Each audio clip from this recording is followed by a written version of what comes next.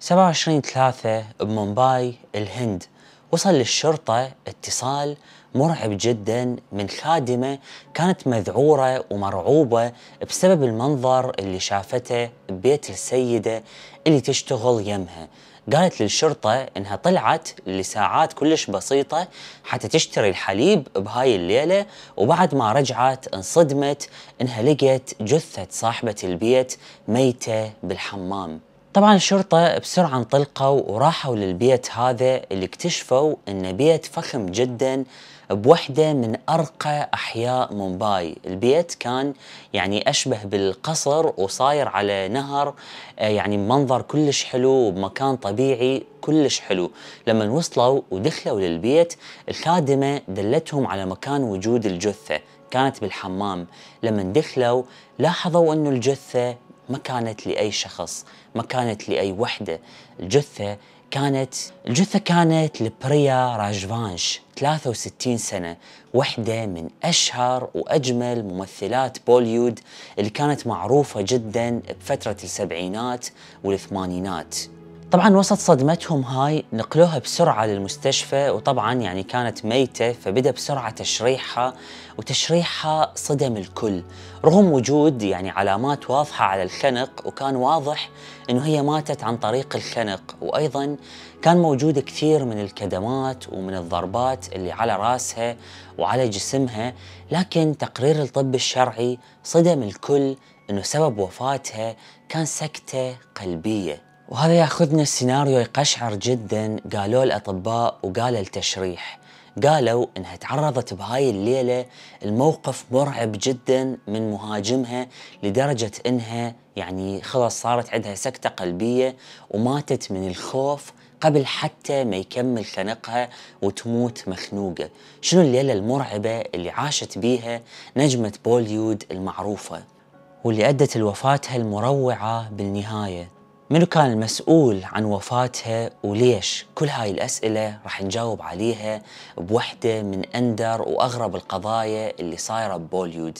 واللي أثبتت أنه بريا كانت عايشة بنص الوحوش حرفيا. أنا ساري حسام وهسه 12 ونص.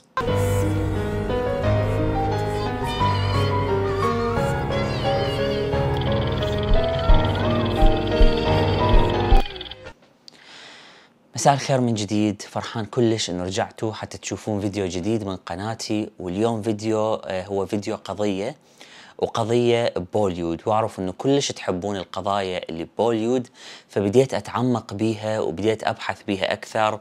وهاي القضية هي لأول مرة تنحكي بالمحتوى العربي. تخيلوا إنه اضطريت يعني حتى بالمحتوى الإنجليزي اللي أي يعني أي دولة تحكي إنجليزي ما لقيت أي فيديو بالإنجليزي عن هاي القضية. فاضطريت إنه أترجمها اولا من الهندي بعدها للإنجليزي وبعدها للعربي حتى أقدر أقدم لكم هذا الفيديو وهاي القضية لأول مرة. القضية هاي جدا عجبتني فتستاهل كانت التعب وجهد الترجمة هذا. فأتمنى إنه تسوون هواي لايكات. وطبعا مثل ما عرفتوا بالمقدمة وبعنوان الفيديو إنها راح تحكي عن ممثلة هندية اسمها بريا راجفانش أو راجوانش حسب يعني اللفظ آه، بكل مكان. فراح نحكي شنو اللي صار وياها وشنو التفاصيل العائلية والشخصية اللي صارت وياها واللي أدت بالنهاية. الوفاة كلش غامضة. طبعا هاي القضية محلولة فمن هسه اطمنوا يعني. ويلا جيبوا شي تاكلوه أو تشربوه استرخوا. طفوا الأضوية وخلينا نغوص بأحداث قضية اليوم. كالعادة بالبداية وقبل ما نرجع ليوم الحادثة أو اليوم الجريمة خلينا بالبداية نرجع ونتعرف على بطلة قصتنا بريا راجفانش. انولدت بريا راجفانش باسم فيرا سوندر سينغ وهو هذا اسمها الحقيقي. انولدت بمدينة جميلة جدا بشمال الهند اسمها شيملا. شملة هاي هي مدينة جبلية صايرة بجبال الهيمالايا بشمال الهند ودائما بيها يعني مناظر خلابة وغابات ويعني أماكن كلش طبيعية وكلش حلوة. طبعا بريان ولدت آه، بسنة 36 آه، والدها كان حارس الوحدة من هاي الغابات المحيطة بيهم والمحيطة بالمدينة اللي هم عايشين بيها. فكانت متعودة أنها دائما تروح وياه للغابات وتحب كلش الحياة البرية. عاشت حياة طبيعية ويا إخوانها ويا والدتها لحد ما دخلت للكلية بسنة 53 لما دخلت للكلية بدأ يصير عندها عشق وهوس بشيء اسمه المسرح. بدأت تمثل بعدة مسرحيات بالكلية وطبعا كان أول شيء ملفت بيها هو أنه موهبتها طبيعية يعني على الفطرة كان عندها موهبة وصوت جميل. بعد ما خلصت المرحلة الأولى من الكلية والدها إجا شغل آه، بإشراف من الأمم المتحدة خلاهم أنهم ينتقلون من الهند ويروحون يعيشون بلندن. فهناك دخلت لكلية ثانية وكانت كلية مختصة بالمسرح والفنون وبدأت طبعا من هناك يعني تمثل من صدق بالكلية وتمثل أعمال إنجليزية ومسرحية كلش قوية. وهي بلندن وعمرها كان 22 سنة بس بيوم من الأيام راحت على مصور هي وأمها. بدها تريد تسوي يعني صور عادية حتى تستخدمها بالمعاملات وهيك شيء فراحت بالفعل وصورت يم هذا المصور.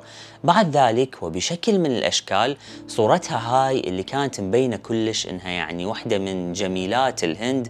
وصلت بشكل ما لصناع السينما بالهند. وما وصلت الصورة لأي أحد. وصلت لشخص اسمه ثاكور سينغ وهذا كان واحد من أشهر المنتجين والمخرجين بوليود كان حرفيا عالمي ومسوي أفلام بلندن ومسوي أفلام أيضا بالهند. فلما شاف صورتها انبهر كلش بجمالها وحس إنه هاي البنية ممكن يكون عندها مستقبل حلو بالتمثيل رغم إنه هو ما يدري بها أصلا إنها تمثل بمسرح الجامعة. فكور هذا المنتج قدر أنه يتواصل ويا المصور اللي صورها بلندن وهذا المصور سأل عليها وقدر أنه يوصل لها. فبالفعل راح لها لندن وحكى وياها وحكى ويا أهلها وعرض عليهم فكرة إنها تمثل ببوليود طبعا أهلها وافقوا وهي أيضا وافقت لأنه هذا كان يعني حلم حياتها. ثاكور أخذها للهند وهناك عرفها على بطل قصتنا الثانية واللي أيضا لازم كلش تعرفوه زين. ثاكور عرفها على مخرج هندي كان أيضا مخرج معروف وقوي اسمه شتان أناند. شتان كان أكبر من عندها تقريبا ب 15 سنة. قعدوا وياه وحكوا وياها وشتان أيضا كلش انعجب بيها وانعجب بشكلها فعرض عليها دور صغير بواحد من أفلامه اللي كان دا يشتغل عليهم. طبعا هذا الحكي سنة 62 سنة 64 بعد سنتين بالفعل قدروا إنه يجهزون بريا بكل المقاييس وغيروا اسمها وسووه بريا وبدت إنها تمثل بهذا الفيلم. لحسن الحظ ولمفاجأة الكل إنه هذا الفيلم ضرب. نجح جدا وبدأ الكل إنه يحكي بيه ويحكي بممثليه. وطبعا أولهم بريا راجفانش اللي كانت الوجه الجديد الجميل اللي فاجئ الكل. بعد نجاح هذا الدور وبعد نجاح بريا هنا كان لازم إنها صدق تهتم وتبدي تركز بأدوارها وتختار أدوار أفضل. طبعا الفيلم هذا كان فيلم من نوعية الأفلام الحربية واللي كان معروف بيهم شتان اللي هو المخرج اللي تعرف عليها. بهالوقت شتان كان استوى منفصل عن زوجته وأم أبنائه الاثنين. كانوا أبناء كبار ومرته أيضا كبيرة لكنه قرر أنه ينفصل عنها. كونه شاف نفسه مو سعيد وياها وأيضا كان أكو سبب ثاني. شتان بدأ ينعجب ببريا رغم فرق العمر الكبير بيناتهم. بريا كان بالنسبة لها شتان هو المعلم وال يعني شلون الرول موديل بالنسبة لها هو المثل الأعلى اللي تريد تصير مثله وتريد إنها يعني تحترمه وتحبه. لكن لما بدأ يبادرها بهاي المشاعر وقال لها إنه يحبها هي أيضا بدأت تحس إنه عندها مشاعر تجاهه. فصاروا سوا بعلاقة غرامية. بعد هاي العلاقة بدت بريا إنها ما تشتغل ويا أي مخرج أو منتج ثاني غير شتان. يعني صارت محتكرة بس بالأعمال اللي وياه وبالفعل قدمها بأدوار كلش حلوة وانطاها بطولات حلوة خصوصا بعد ما اكتشفوا إنه صوتها أيضا كان جميل فبدت تغني بالأفلام. يعني ما صارت بس آه، ممثلة لا كانت تغني وتسوي استعراضات وكانت يعني خلص صارت بفترة السبعينات خلينا نقول نجمة مهمة ومن نجمات الصف الأول ببوليود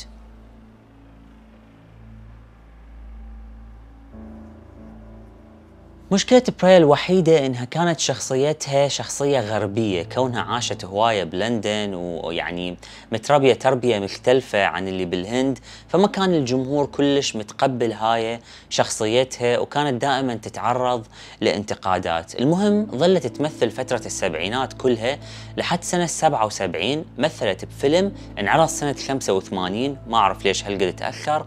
من بعد هذا الفيلم قررت إنها تعتزل التمثيل تماما وتظل بس يعني تهتم بحياتها الخاصة وحياتها الشخصية. هسه نجي للجزء المهم جدا واللي ضروري كلش إنه تعرفوه. إنه بريا بعد اعتزالها كانت بهاي الفترة بعدها على علاقة ويا شتان وكان بهذا الوقت طبعا يعني كبير بالعمر. هو من مواليد 21 وإحنا هسه نحكي سنة 85 المهم لما كانت وياه بعلاقة بدأوا الناس يحجون وبدأت تسمع هواية حكي مو زين عليها. كونها لسنوات طويلة يعني حوالي 20 سنة هي صاحبته بس وما متزوجين وعايشين بنفس البيت. كانت هي عايشة ببيته رغم كلام الناس هي ما كانت مهتمة لأنها تعرف أنه هي مو مجرد عشيقة أو مجرد شيء يعني مو مهم بحياته. هي تعتبر نفسها مثل زوجته بس هم ليش يظلون عشرين سنة بعلاقة وما يتزوجون؟ شتان مثل ما قلت لكم كان منفصل عن زوجته الأولى لكن كان عنده من عندها ولد اثنين وأولاده كانوا كبار كانوا أصغر من آه، بريا يعني اللي وياه حاليا بتقريبا عشر سنوات بس. وكانوا هم اللي مانعيه من أنه يتزوج بريا لسبب كلش وجيه لأنه إذا تزوجها وتوفى ميراثه راح يتقسم بينهم وبينها وهذا الشيء ابدا ما كانوا راضين عليه. فقالوا له إذا تتزوجها خلص تكون أنت اختاريتها وإحنا ما نريدك وما نريد نعرفك. فكانوا مانعيه إنه يرتبط بيها. مع ذلك بريا ورغم إنه هذا الشيء كان مسبب لها كلام وأزمة لأنها كانت تحبه وراضية إنها تظل وياه وتظل تعيش وياه حتى لو بدون زواج. كل الناس اللي كانوا يعرفوهم كانوا يقولون إنها كانت سيدة المنزل يعني ما كانت مجرد عشيقة له لا كانت كأنها زوجة كانت تستقبل ضيوفه يأخذها وياه بكل الاحتفالات المهمة رغم اعتزالها. فقدام الناس هي ما كانت يعني عشيقته لا هي كانت تتقدم على إنها زوجته. استمر الحال مثل ما هو هيجي لحد سنة 97 لما انصدمت بريا بوفاة شتان. بهذا الوقت كان طبعا يعني صار مسن كلش وكبر بالعمر. بآخر أيامه كانت هي اللي مهتمة به وهي اللي ترعاه وتقريبا أولاده أو مرته السابقة كانوا أبدا ما يسألون عنه. فانصدمت إنها قعدت في يوم من الأيام واكتشفت إنه متوفي. ومنه بدت المشاكل.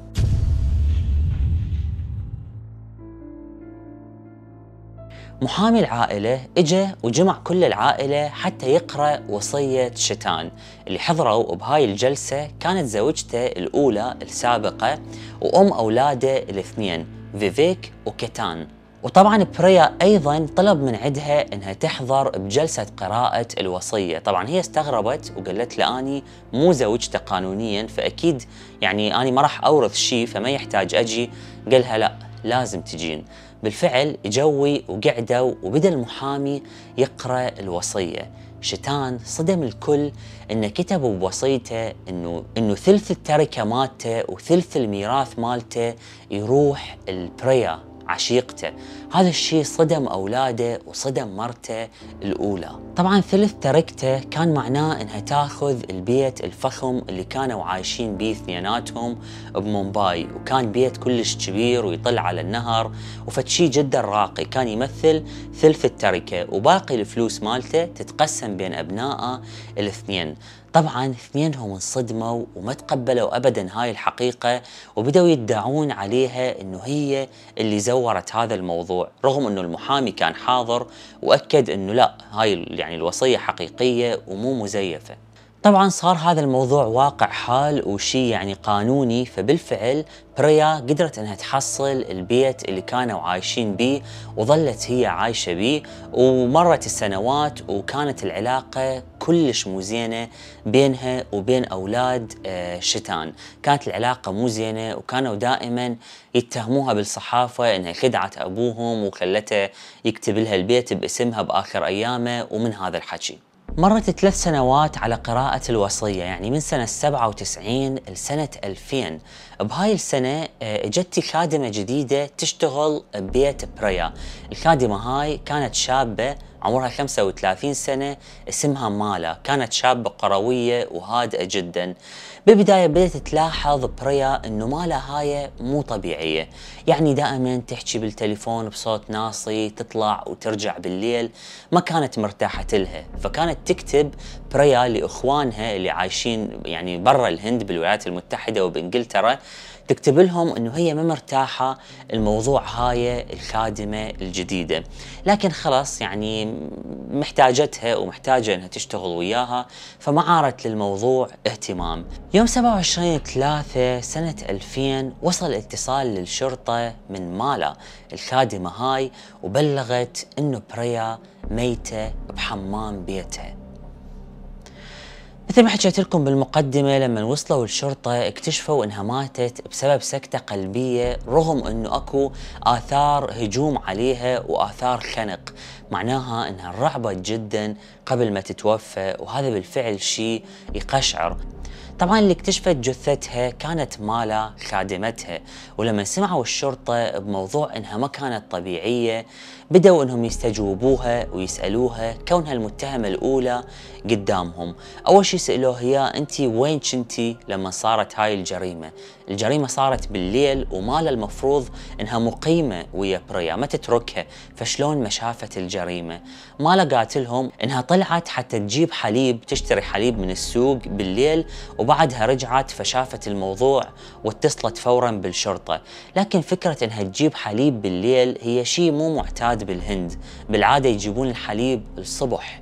سألوا الخادمة إذا تشك بأي أحد لكنها قالت إنها ما تعرف وقالت إنه آه، بريا ما كان عندها أي أعداء وإنها نجمة معتزلة وعايشة حياتها بسلام وعمرها 63 سنة. يعني مو كلش صغيرة ولا عندها أي مشاكل بحياتها. لكن أخو بريا طلع بمفاجأة. قدم للشرطة مجموعة من الرسائل كانت جايته من أخته قبل فترة قصيرة من وفاتها بهاي الرسائل عبرت له عن خوفها ورعبها من اثنين. اثنين كانوا دي يطاردوها وكانت دا تحس إنهم راح يأذوها. فكانت دائما تقول له إنه يعني هذا مكان حساباتي البنكية هذا مكان فلوسي. كانت تخبره على كل شيء في حال صار لها شيء. فكانت حاسة إنه ممكن يصير لها شيء. سألوه منو هذول الاثنين فجاوبهم إنهم فيفيك 53 سنة وكيتان 50 سنة. أبناء شتان اللي كان عندهم مشاكل كبيرة وياها بالمحكمة على تركة أبوهم. طبعا بدأوا الشرطة يحققون وياهم لكنهم نكروا تماما إنه لهم أي علاقة بالموضوع وقالوا إحنا ما لنا علاقة ويعني ما نعرف عنها شيء من قراءة الوصية قبل ثلاث سنوات. وطبعا بذاك الوقت ماكو موبايلات مثلا تثبت إنهم هددوها أو شيء فما قدروا إنهم يلزمون عليهم أي شيء. الشيء الغريب إنه الشرطة لما راحت لبيتهم حتى يحققون وياهم لقوا هناك وجه مو غريب عليهم كانت مالا.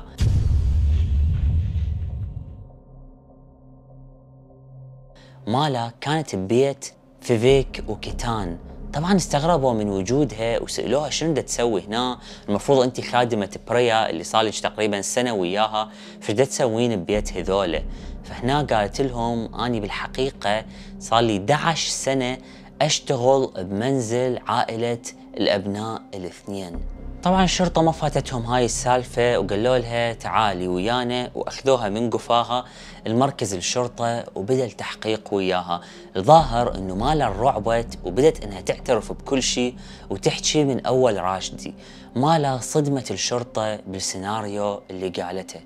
قالت انها كانت تشتغل ببيت العائلة مال فيفيك وأخوه من 11 سنة تقريبا وقالت لهم إنها تورطت بعلاقة غرامية ويا فيفيك اللي يكبرها تقريبا ب 15 سنة واللي كان متزوج وعنده أطفال. قالت انه بدأ انه يوعدها بالزواج ويوعدها انه راح يتزوجها. في حال سوت له خدمة أخيرة. الخدمة كانت إنها تتخلص من بريا. بالفعل قدر إنه يخدع بريا ويدزلها آه، ماله على إنها خادمة وإنهم ما يعرفوها وإنها تشتغل يمها. وللأسف بريا انخدعت وبيت تشغلها ببيتها. وبليلة الجريمة مالا استعانت بشخص ثاني كانت تعرفه من القرية دخلوا للبيت وفاجأوا بريا هي ونايمة وبدأوا إنهم يضربوها ويخنقوها. لكن تفاجأوا إنها انرعبت من منظرهم وانرعبت من صدمة الموضوع اللي صار وياها فماتت من الخوف قبل ما إنهم يكملون عملية خنقها. نقلوها بسرعة للحمام وهناك طلع هذا شريكها الثاني وهي اتصلت بالشرطة وادعت إنها كانت طالعة ورجعت ولقيتها ميتة.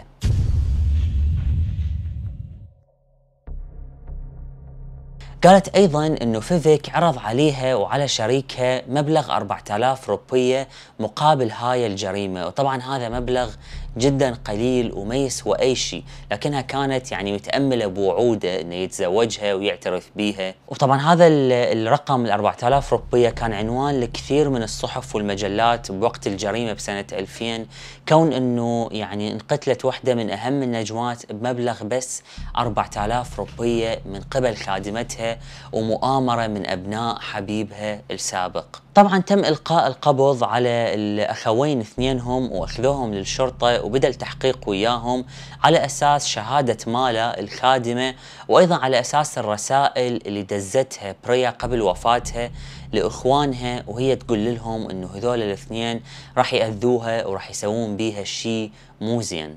كان مبين إنه دافعهم إنهم يتخلصون من عندها حتى إنهم يستولون على الورث ويستولون على البيت الفخم اللي والدهم كان كاتبه باسمها. لكن بالحقيقة بريا كانت أذكى من عندهم كون إنه البيت هذا قبل ما تتوفى كانت أصلا كاتبته باسم إخوانها.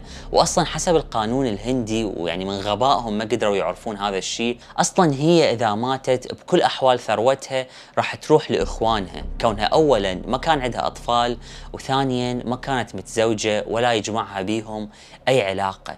فيعني ضاربت الأقوال. ناس قالوا إنهم ممكن يسكنون نفذوا هاي الجريمة بس انتقاما منها مو على مود البيت. لأنه أصلا البيت يعني كان ما يسوى شيء بالنسبة للورث اللي هم ورثوه من أبوهم.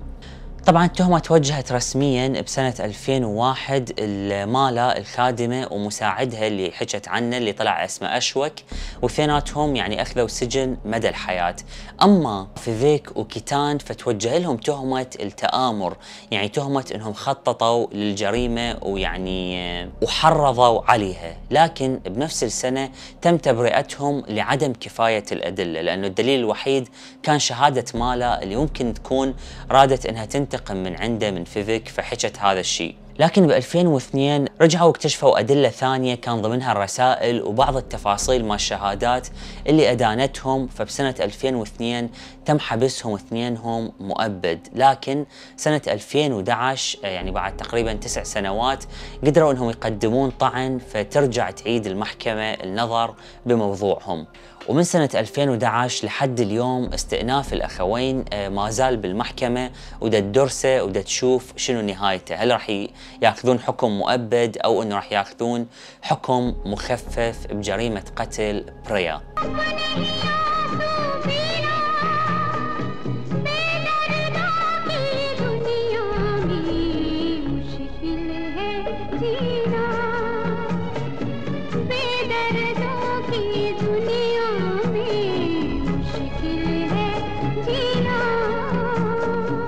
ولهنا نكون خلصنا هاي القضية الغريبة جدا اللي عنوانها الحقد والكره اللي ما له أي سبب يذكر. طبعا مثل ما قلت لكم هاي القضية أخذت من عندي هواية وقت لأني ترجمتها من لغتين هندي وبعدين إنجليزي وما راح تلقوها بأي مصادر يعني إلا كم مصدر بالإنجليزي وما حاكي تفاصيل هواية وما راح تلقوها بأي مصادر عربية. آه، فقط بالمصادر الهندية موجودة بهاي التفاصيل اللي اليوم حاولت أختصرها وأجمعها لكم فأتمنى تكون عجبتكم هاي القضية. آه، اكتبوا لي رأيكم بالتعليقات وراح أكون متحمس جدا أنه أقرأ وأكيد آه، سووا لايك إذا عجبكم الفيديو لأن أكثر شيء يدعم الفيديو وانتظروني بفيديو جديد وبقضية جديدة وتصبحون على ألف خير.